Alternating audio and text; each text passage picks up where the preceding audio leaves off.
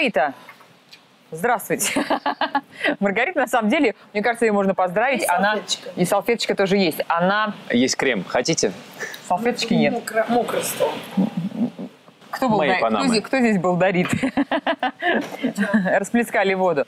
А, Я предлагаю поздравить тебя, Маргарита, потому что она пережила сложнейший год своей жизни. Ее дочь впервые пошла в школу. Ну и, соответственно, ее закончила. И, соответственно, Первый ее класс. перекрестилась. Как результаты? Ой, вам вообще оценки, дневник показать? И оценки, Или ощущения. состояние? Нет, ты, ты- ты вообще рада? разные. Ну, в принципе, вот э, с того вторника, как она э, закончила школу, я ее отвезла на дачу, я... Я посвящена вам. А как же внеклассное чтение, вот это домашнее Задание на лето. задание на лето. Прописи. Все это зафиксировано. Э, Большие очень списки. Э, Хрестоматия, литература, что нужно прочесть за второй класс, потому что мы «Война и читать мир». так и не научились. Так. Это смешно, но я э, возлагаю всю надежду на бабушку Олю, Ольгу Семеновну, которой э, был выдан мандат м, доверия на поездку в Испанию и обучение дочери вот тому всему, что она проходила в первом То классе. есть правильно я понимаю, что дочка школьница и дача – это значит подготовка к следующему классу? Насчет дачи. Э, Есть какой-то период, вот школа заканчивается где-то в конце мая, есть какое-то время, вот мы собираемся поехать на море. И это в Испании, поэтому на даче она проведет какое-то время, 20 дней. Ну, дача я в широком смысле, А, то есть, да? ну да, лето, Слушай, вот. нет, а у меня дача, это конкретная дача под Москвой с комарами ростом, с собаку там, вот твою вот. Ну, вообще, какое-то лишение а, каких-то городских привилегий, даже отсутствие интернета. Ну, что-то такое, дача, дача, дача, варенье, э, земля, клубника. Ну, что такое бредок такой советский? Ну, что для тебя лето? Ты просто так закричала, ура, что мы закончили школу, теперь у нас дача. Это ли- какой-то период времени, когда ты отдыхаешь от ребенка, соответственно, ребенок отдыхает от тебя, твоих нравоучений, воспитания и прочее. Посмотрите на меня! Или все-таки... Кто кого учит? Или все-таки тебе э, есть э, какой-то кусочек лета, когда вы обязаны провести вместе? Нет, ну план на, на лето есть, он составлен. Дача, море, другая дача. У меня же папа, у папы тоже дача есть. Ну, у папы ребенка. Так. Еще же есть другие бабушка и дедушка. Да, И у них тоже есть есть дача. нюанс. Хорошо, когда много дач. Да, ну это одна дача рядом с Москвой, там э, самолеты летают прямо в окна. А что делаете на дачах? А? На дачах? Ну, Какие а- развлечения? Ну, ну, ребенка же Мне нужно кажется, тоже как-то ребенку занимать. развлечения придумывать особо не нужно, если это не какие-то настольные игры. Бабушка учит ее выращивать что-то на Бабушка, огороде. да, она дает советы, они там как-то формируют клумбы, но больше всего бабушка ее кормит. Ребенок. На даче я звоню бабушке, Что она поела Она ест. клубнички, уже сейчас и поела э, кашку гречневую, и еще сейчас. И оттуда, бабуля, а где малина? Это я утрирую, конечно, но вообще бабушки кормят детей на убой. Это, это Ну, это очень обидно. ну. И они думают, что они делают добро. А вот деньги на липосакцию уже собираем мы, родители. Уже начали откладывать. Я, я да. Полина начала откладывать жир, а родители деньги на липосакцию. да. Дело в моей жизни так же и было. Слушай, а скажи, а вот всякие опасности, я имею в виду, вот комары, про которых ты говорил, весь покусанный ребенок, да, весь в этих э, волдырях, не дай бог клещи, если это дача подмосковная, следишь, Вы меня сейчас пытаешься убить. вызовете неотложку. Я больше боюсь клещей, чем мой ребенок. Ну, м, что, как бы Даешь это все... ЦУ, да, бабушкам, что значит не Мне кажется, выходить. Пожилые люди, ну, достаточно взрослые, так их назовем, они все равно намного более н- такие тревожные, чем мы. То есть теорию клещей дедушка прошел намного раньше, чем все мы. И что клещи из травы выпрыгивают, и нужно такие до сюда носить какие-то. Сапоги. Здесь Панама, здесь сапоги, да. У вас на даче проживает не энное количество животных. А, И понятно, что Полина привыкла к домашним животным. Но рядом лес, да, э, река, поля и... Ты э, описываешь, как будто мы живем, как Толстой где-то. Ясной поляне, да. А это разве не Веста поляне? Нет, это 35 километров от Москвы. Тебе говорю, самолет залетает на кухню, блин. Причем там Внуково 3, и там частные самолеты летают прям вообще Я просто к тому, что, несмотря на то, что там летают самолеты, там еще ходят а, мыши наверняка, лазят О. кроты, Ежи. а, приходят ежи, Да. Мисочку белки. молока. Природа Подмосковья все-таки сохранена. Удивительным Как, как ты э, обучаешь Полину, или, не знаю, как ты ограничиваешь ее, рассказываешь, или этим тоже занимаются а, бабушки и дедушки, что существует э, какое-то там бешенство, да, и опять же, э, животные болеют всякими инфекционными, даже на руки брать нельзя. Не Или- трогай бобра. Или она такая очень любящая природу А, и нет, все, ну, все ну, таскает в дом. Конечно, она знает все э, нюансы болезней, собак. Я все думаю, может, ты уже начнешь ветеринаром будешь, можешь такие деньги зарабатывать. Вот. Нет, на самом деле она предупреждена, насколько это возможно ну, восьмилетнему ребенку, ей только что стукнуло 8, а не 220, слава богу. Вот. И она знает, что, как, чего делать. И с мышами, которые б- действительно есть, борется кошка Люська. Притом мне очень умиляет бабушка с такими салфетками протирает Люсе рот. Кошки. Боже, мол, ну, спасибо. Инфекция. Да, это дико смешно. И Полина тоже знает, что Люська охотница. Ага. Но есть еще у нас собака, которую мне на 33 года подарила известная певица Земфира. И Нами Трофанова взрослее. У нас для тебя есть подарки небольшие. Да что такое? Да, Да. как для тревожного кабанчика, для тревожной От матери. клещей. От клещей. Это бабушки. Бабушка. Кремчик, репеллент. Э, Крем-репеллент от больших комаров подмосковных. Расскажу вам сейчас очень быстро насчет крем. Вот, Так. а, у моей подруги Татьяны Геннадьевны, ты ее знаешь, Так. э, трое детей и э, средняя, по-моему, дочь. А, сейчас скажу, то ли комар укусил. Да, ее укусил комар или что-то такое. А дедуля плохо видел. И он взял мази, но они лежали в одной мази. И, короче, у него была мазь от спортивных травм, прогревающая. И он ей намазал эту комариный укус. Вот такой И- был. и- а ребенок кричит криком. Просто уже, ну и деду плохо. Вся семья сбежалась, просто перепутала название. Так всегда следите, что Да-да-да. написано. Но в данном С таким случае- названием мазь, знаешь. Да.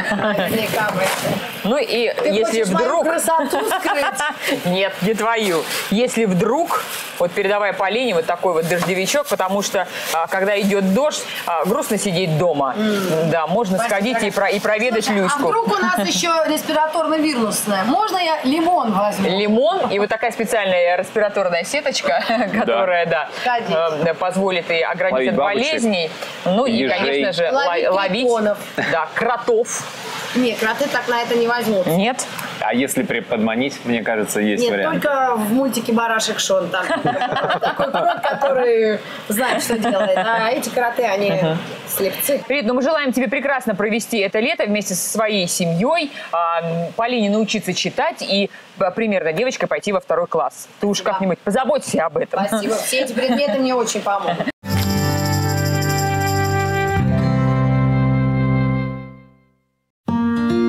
Правда ли, что морковь улучшает зрение? Это действительно так. В моркови много витамина А, который необходим для поддержания острого, хорошего зрения. Витамин А – важная составляющая производства организмом ретинола. Это чувствительное к свету вещество, позволяющее клеткам сетчатки реагировать на свет. Свет, воздействуя на молекулу ретинола, изменяет ее форму. Это активирует цепную химическую реакцию, в результате которой в мозг поступает сообщение, что свет достиг сетчатки. Поэтому при серьезном недостатке витамина А, а вместе с ним и ретинола, у человека может возникнуть так называемая ночная слепота. Помимо моркови, восполнить запас витамина А можно и другими продуктами с его высоким содержанием, такими как тыква, шпинат и черника.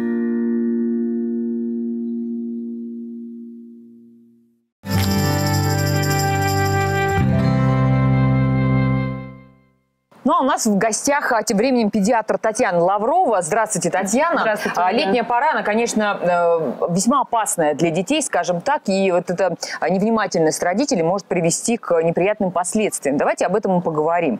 Прям для- по пунктикам. Прям, да, прям по пунктам. Для Солнце. начала, Нет? Извини. ты перегрелся уже? Солнце? Есть немного. Перегрев. А, Как действительно а, спасаться от жары? Нужно ли прятать детей а, от солнца? Или пребывание на нем, наоборот, э, добавит им лишнего витамина Витамин, D? да. А, ну, прежде всего, надо сказать, что солнце – это прекрасное наше светило, единственное. Летняя пора действительно самое лучшее время для того, чтобы оздоровить детей. И солнце необходимо для того, чтобы вырабатывался витамин D, для того, чтобы дети получали заряд бодрости и не только его. А, нужно ли прятаться от солнца? Вопрос для детей очень актуальная, особенно для малышей. Безусловно, всем детям, ну, в общем, и взрослым, а, в период максимальной солнечной активности не рекомендуется нахождение на открытом воздухе, да, поэтому лучше всего... Максимальная солнечная активность это с 11 Максим... до 3, да, наверное? С 11 до 3, 4, ну, это зависит, естественно, от той климатической зоны, То географического положения. Этого, да, безусловно. А если мы говорим про какие-то жаркие Юго, тропические страны, то там это время, естественно, очень увеличивается. Если мы говорим про Черноморское побережье Кавказа, то приблизительно это там с 11 до 4 часов дня. Если ребенок, ребенок все-таки бегает на улице, панамка, солнцезащитный крем обязательно, да, наверное? Да, в обязательном порядке необходимо закрывать голову ребенка и использовать средства защиты кожи с высокой активностью, да, 50 плюс. 50 плюс даже? 30 плюс, 50 Я плюс. Думаю, это для, для малышей. Нет, это не возраст, это как раз э, степень защиты от ультрафиолета для ребенка. А что касается длинного рукава? Очень многие педиатры также советуют, что э, зачем перегружать детскую кожу, опять же, какими-то кремами. Ультрафиолет? А, даже крем не Даже а, крем, да. Лучше одеть э, что-то с длинным рукавом, чтобы закрывал шею и длинные э, штанишки. Ну, безусловно, это как один из вариантов защититься от солнца. Легкая хлопковая одежда. Здесь нужно быть очень внимательным для того, чтобы любая солнечный удар частный, а, частный случай теплового удара. Угу. И когда вы одеваете полностью ребенка с длинными рукавами, с длинными штанишками, а, есть, безусловно, вероятность получения теплового удара, если ребенок Перегреться находится... даже не на открытом да, солнце. Да, безусловно, даже в той же самой тени. Именно поэтому очень важно не кутать ребенка, потому что традиционно наши родители боятся, а, боятся заморозить ребенка ярким солнечным летним днем, и поэтому его одевают, и в результате получает, наоборот, э, не солнечный, а тепловой удар. Еще летняя история – это насекомые. Насекомые кусачие, комары, вот пошли гулять в лес. Э, есть, опять же, спреи, как они, антирепелленты, да, да называются? Да, да. репелленты. Вот работают ли они? Есть какие-то браслеты, которые вроде как отпугивают, есть ультразвуковые брелоки, комары, ошейники. Ладно, комары, а если клещи? Ну, вы понимаете, что в Подмосковье комары это наше все, особенно да, ну, да. в местах, ну, вообще где средняя есть... полоса, я думаю, практически вся территория страны. Ну да, особенно болотистые местности, угу. там бли- ближе к северу и не только. Там, где есть стоячая вода, везде есть комары. Братья наши меньше, они безусловно необходимы всем, а, всей живой природы, но тем не менее а, комары могут причинить как маленькие, так и большие проблемы для ребенка. Если мы говорим про маленькие проблемы, обыкновенные укусы, угу которые вызывают зуд, покраснение, это одна история. И тогда действительно здесь важно пользоваться репеллентами, которые отпугивают э, комаров и э, предотвращают контакт кровососущих. А нет такого, что это же химия какая-то дополнительная на коже, там аллергические реакции? Ну, во-первых, существуют специальные средства для малышей а, после года, для малышей младшего, для малышей до года и более старшего возраста, где используется разная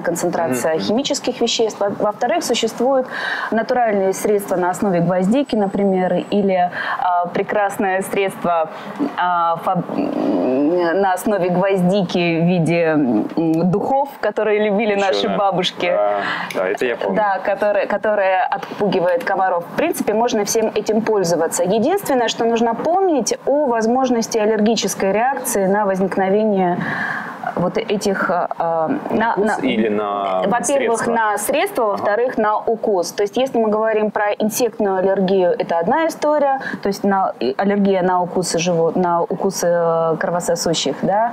И если мы говорим про аллергию на химические вещества, это другая совершенно история и разные подходы. Вот еще так, такая летняя история, яблоко или какой-нибудь другой фрукт разор, который дети могут срывать на даче у бабушки или просто брать э, с лотка. С грядки. С грядки. Ну, да. А, есть э, наступает момент, когда все, от всего этого организм начинает избавляться, родители в шоке. Можно ли а, при вот таких а, каких-то отравлениях, да, диареи, опять же, родителям принимать какие-то собственные меры или нужно обращаться к врачу, потому что это может быть опасно? Если мы говорим про инфекционные заболевания, про те самые болезни грязных да. рук, кишечные инфекции, здесь всем родителям важно помнить одно.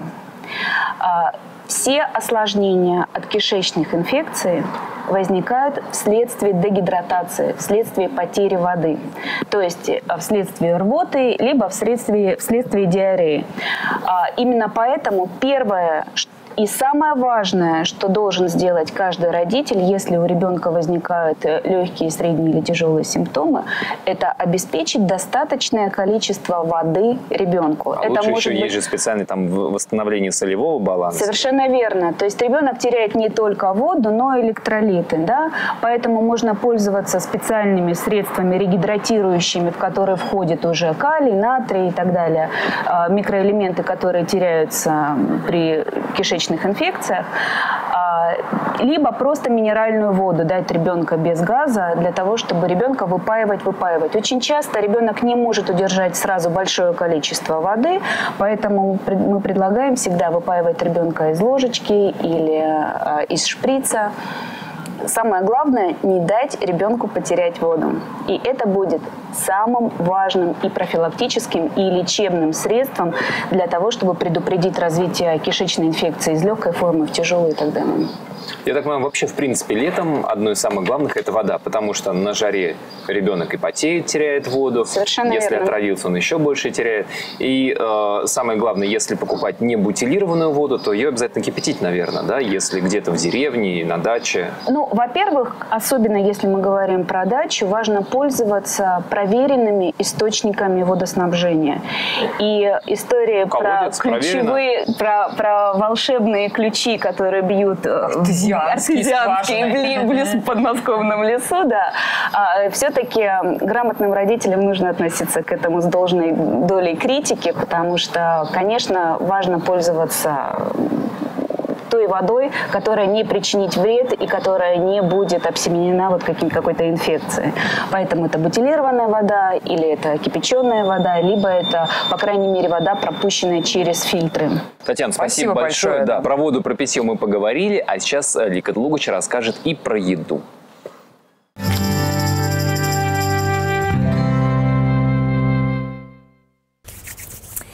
Так, с чего бы мне начать? Наверное, начнем с того, собственно, что мы будем делать. Ой, даже нос сунула прям в ребрышки. Это свиные ребрышки. Штука вкусная, штука пикантная, которую отлично жарить на решетке. Но, как и любое мясо, которое требует жарки на открытом огне, его надо мариновать. Вопрос в чем? Давайте-ка подумаем, в чем бы нам это сделать. Я предлагаю сегодня такой вариант. Сначала думала про горчицу, потом думаю, нет горчицей что же было, хочется что-то другого. Я подумала, что надо взять соевого соуса так, от души. Главное не присолить. Надо взять оливкового масла. Надо взять меда. М-м, понимаете, да, к чему я клоню? К тому, что это будет такая немножечко карамелизированная история. М-м, прекрасно. И не хватает здесь какой-нибудь задумчивой детали, да, например, специи или какого-нибудь растения, сушеного или свежего. Как вы думаете, что бы нам добавить? Давайте попробуем розмаринчика сушеного. М-м, отличная мысль. То, что надо.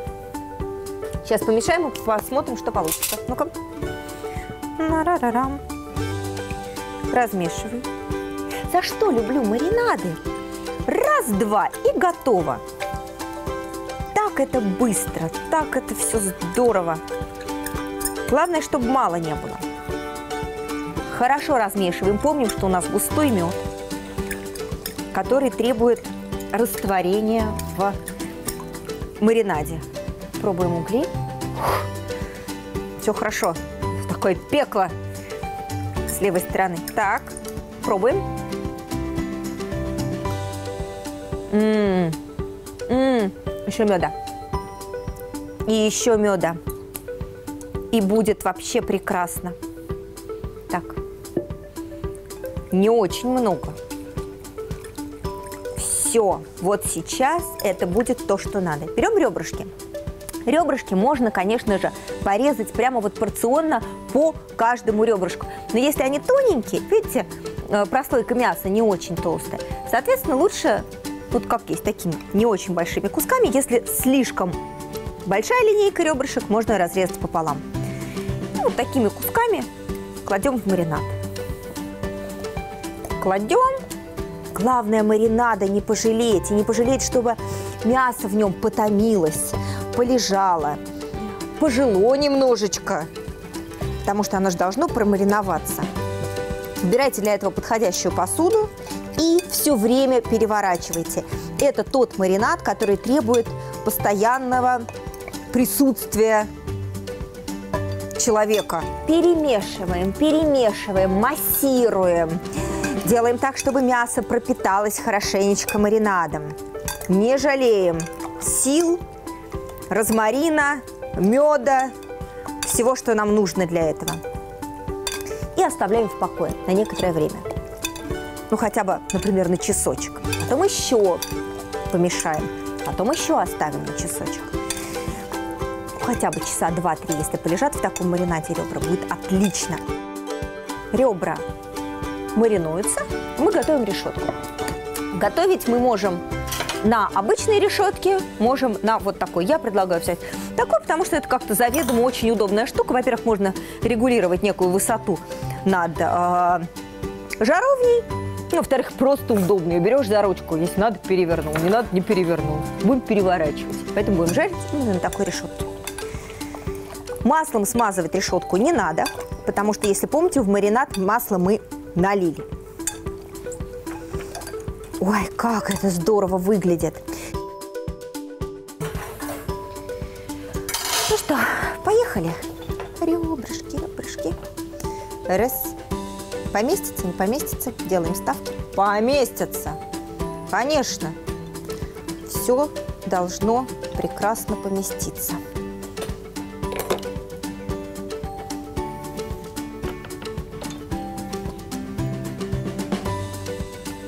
Ну, просто как рассчитано было под мою решетку. Накрываем.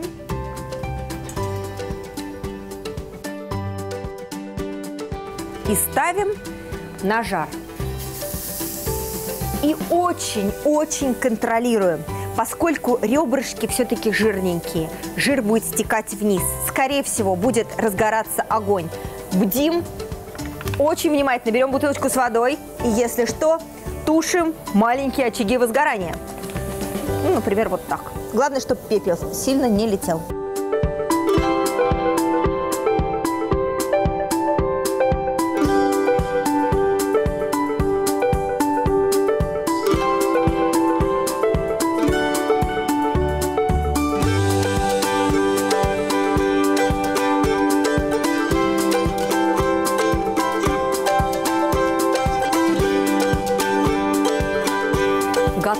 Готово, готово мясо. Смотрите, лучше эти ребра на очень сильных углях, таких жарких, не готовить, потому что, если вы помните, у нас соус был на основе меда и соевого соуса. Поэтому этот маринад, он подгорает немножечко. И вот чтобы у нас ничего не сгорело, надо очень внимательными быть. Снимаем эту историю. Сняли. Ой, горячо-то как. И смотрим. Ой, какие красавчики. Сейчас я их возьму-ка я большую вилку. Вот для чего нужны такие вилки. Смотрите, для того, чтобы такие роскошные ребрышки перекладывать. Ах, красавцы вы мои! И медовый вот этот маринад, он, конечно, дает изумительный, изумительный вкус. Нежный, сочный, сладковатый.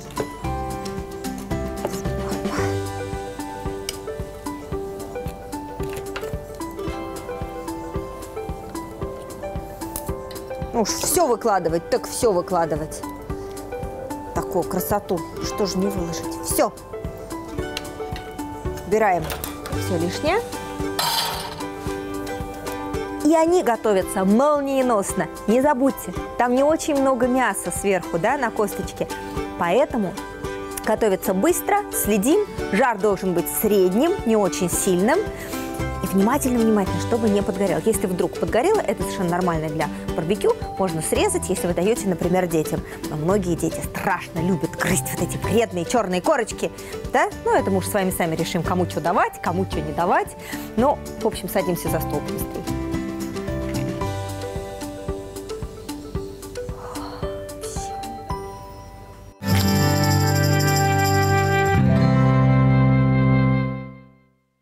Ольга, скажите, вы же актриса. Получается, что своего ребенка вы знаете и умеете развлекать. Мне кажется, людям творческих профессий это дается легче. Пока, мне кажется, он больше меня развлекает, чем я его.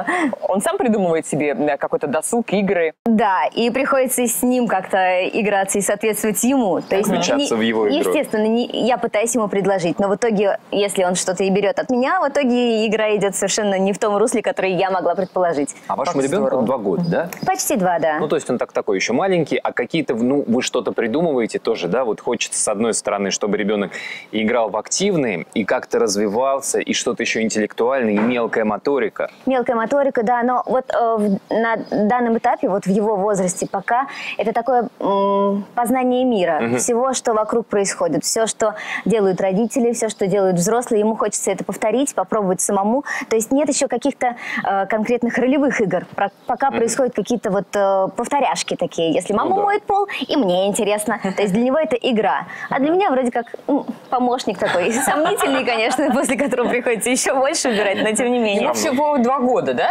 Ну да.